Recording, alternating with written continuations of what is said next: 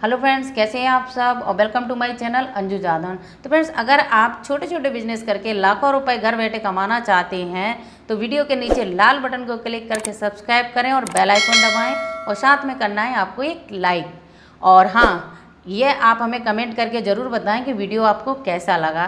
तो फ्रेंड्स, आज हम आपको बताएँगे गिलोई के बारे में कि इस ग्लोई को आपको कैसे पहचानना है, किस काम में आती है और इसकी खेती कैसे की जाती है तो इन सभी की जानकारी आज हम आपको बताने वाले हैं। तो ग्लोई को पहचान कर अभी लोग लाखों रुपए कमा रहे हैं, वो भी बिना पैसा लगाए, क्योंकि गिलोय का उत्पादन खेती करके तो होता ही है और बहुत से गाँव और जंगलों में लाखों टन गिलोय ऐसे ही अपने आप लगी मिल जाती है, जिससे लोग बड़ी बड़ी फार्मा कंपनियों को बहुत मुनाफे के साथ बेच रहे हैं। गिलोय जो है वो एक दिव्य औषधि है, जिससे लोग लाखों लोग जो हैं वो उपयोग में लाकर कई बीमारियों से छुटकारा पा रहे हैं। गिलोय देखने में लगभग पान के पत्ते की तरह से होती है और यह लता के रूप में उगती है और बढ़ती है।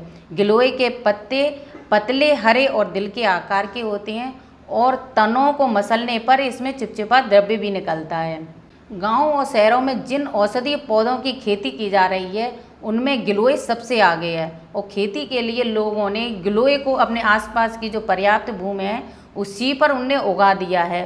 क्योंकि गिलोय एक बेल पौधा है तो ये अपने आप ही फैल जाता है। और गिलोय की खेती करने का मकसद है बुखार, नज़ला, हैजा और पेट संबंधी तमाम बीमारियों के इलाज के लिए यह एक रामबाड़ दवा है। और लोग भी अब एलोपैथी दवाइयों से तंग आ गए हैं। ऐसे में लोग बीमारियों से पूरी तरह निजात पाना चाहते हैं और इसमें गिलोय उनकी सबसे ज़्यादा मदद करती है। इस पर राष्ट्रीय औषधीय पादप बोर्ड की तरफ़ से 30 प्रतिशत तक की सब्सिडी भी प्रदान की जा रही है। गिलोय की खेती के बारे में लोग बहुत ही कम जानते हैं, परंतु यह नहीं जानते कि गिलोय की खेती आपको लाखों और करोड़ों का मालिक बना सकती है। क्योंकि गिलोय का दवाई बनाने में बहुत ही ज़्यादा इस्तेमाल होता है। गिलोय अंतर्राष्ट्रीय बाज़ार में बहुत ही ज़्यादा महँगी बिकती है। गिलोय से सिरप, गोलियाँ और कई तरह की भस्म भी बनाई जाती हैं, जो हमारे शरीर के लिए बहुत ही ज़्यादा फ़ायदेमंद हैं। गिलोय मानव शरीर में गिरते प्लेटलेट को बढ़ाने में बहुत ही ज़्यादा मददगार है। जब भी किसी को बुखार या कमज़ोरी आती है तो उस समय गिलोय का सेवन करने से शरीर में शक्ति का संचार भी होता है और शरीर एक नई ऊर्जा से भी भर जाता है।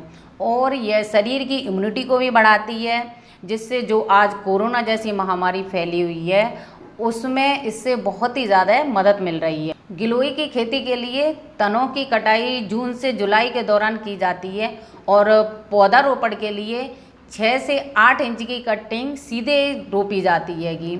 और जून से जुलाई में मुख्य पौधों से प्राप्त तने 24 घंटे के भीतर सीधे खेत में लगाए जाते हैं। इस पौधे को उगाने के लिए बीज का भी उपयोग किया जाता है। तो बुवाई से पहले बीज को अंकुरण के लिए 24 घंटे तक पानी में भिगोया जाता है। और ये बीज मई से जुलाई के दौरान पॉली बैग में भी बोए जाते हैं। एक हेक्टेयर भूमि में पौधारोपण के लिए ढाई हज़ार कलमों की ज़रूरत पड़ती है। अगर आप ग्लोई की खेती कर रहे हैं तो आपके खेत की मिट्टी अगर मध्यम काली या लाल है तो उसमें इसका प्रोडक्शन जो है वो बहुत अच्छा हो जाएगा। और पौधारोपण के लिए तने की कटिंग को सीधे ही खेत में बोया जाता है और अच्छी उपज के लिए कटिंग को तीन मीटर की दूरी पर लगाना सही माना जाता है। उगाने के लिए पौधे को लकड़ी की कपचियों के सहारे की भी ज़रूरत होती है।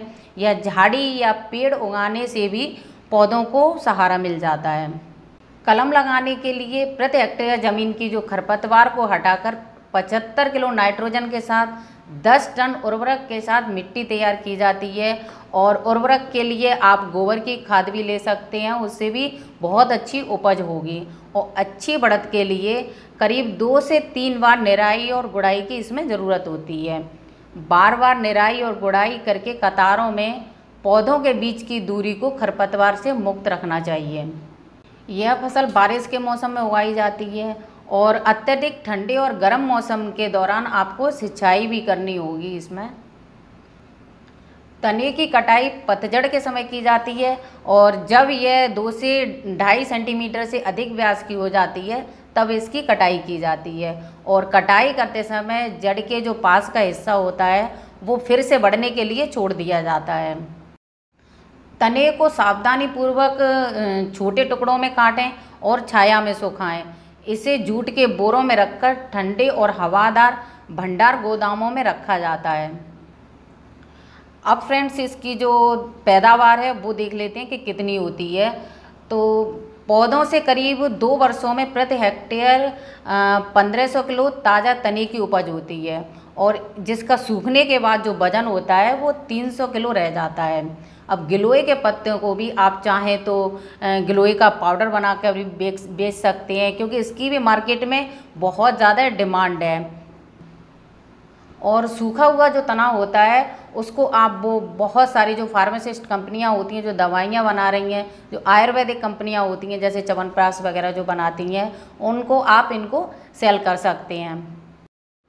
तो फ्रेंड्स, मैं ग्लोई की खेती का इसलिए बता रही हूँ, ये काफ़ी अच्छी है, इसमें लागत भी बहुत कम लगती है। अब स्टार्टिंग में आप अगर करना चाहते हैं तो आपकी जो खेतों के पास, आसपास जो अनयूटिलाइज जगह होती है, आपके घरों के आसपास भी जो जगह होती है, जिसका आप यूज़ नहीं कर रहे होते, वहाँ पर आप स्टार्टिंग में आप वहाँ पर इसको लगाएँ, और वहाँ पर लगाने से आपका क्या होगा, आपको मेंटेनेंस नहीं करना पड़ेगा देख रेख भी नहीं करनी पड़ेगी। और इसमें मेन सबसे अच्छी बात तो ये है कि इसमें आपको दवाइयाँ भी नहीं लगानी पड़ेंगी, क्योंकि इसमें कीड़े वगैरह नहीं लगते हैंगे। तो इस तरह से दवाई के, खाद के, कीटनाशक के, ये सारे खर्चे आपके इसमें बच जाते हैं, यानी आपकी बचत भी होगी। और ऐसे मान लीजिए, आप फ्री में ही आप इस खेती को लगाकर काफ़ी अच्छी इनकम भी कर सकते हैं। अब फ्रेंड्स आप इसकी खेती करते हैं और साल दो साल बाद आप इसका जो प्रोडक्शन है, वो निकालते हैं। तो इसको आप आयुर्वेदिक कंपनियाँ जो होती हैं, जैसे दवाइयाँ सिरप वगैरह जो कंपनियाँ बना रही हैं, उनको आप सेल कर दें। अब सेल करने से ये होगा फ्रेंड्स आपकी थोड़ी हिम्मत मिलेगी। आप ये समझ जाओगे कि इसमें आपको कितना प्रॉफिट हो रहा है। अगर आपको अच्छा प्रॉफिट हो रहा है तो इसको आप अपनी मेन खेती में भी कर सकते हैं। अब इस खेती को आप अपनी मेन खेती में जब आप करें तो आप औषधि पादप बोर्ड में आप अपना रजिस्ट्रेशन करा लें। इससे वो जो बोर्ड है, वो आपकी जो फ़सल है, वो भी खरीदेगा और साथ में तीस प्रतिशत की आपको सब्सिडी भी देगा। औषधीय पादप बोर्ड में किस तरह से फ्रेंड्स आपको रजिस्ट्रेशन कराना है, अगर आपको नहीं पता है तो आप हमें कमेंट बॉक्स में ज़रूर बताएँ। तो हम आपको इसकी भी इन्फॉर्मेशन देंगे कि इसमें आपको किस तरह से रजिस्ट्रेशन कराना है। अब ये सारी इन्फॉर्मेशन है, आपको टाइम से मिलती रहे तो आप वीडियो के नीचे जो लाल बटन है, उसको क्लिक करके सब्सक्राइब कर दें और बेल आइकॉन दबाएँ, जिससे आपको टाइम पर इन्फॉर्मेशन भी मिलेगी। तो फ्रेंड्स आज के लिए बस इतना ही। मिलते हैं नेक्स्ट वीडियो में नई इन्फॉर्मेशन के साथ। तो आप हमारी वीडियोज़ को ज़्यादा से ज़्यादा लाइक करें और सब्सक्राइब करके बेल आइकन ज़रूर प्रेस करें। ऐसी और वीडियोज़ के लिए take care bye bye make in India have a nice day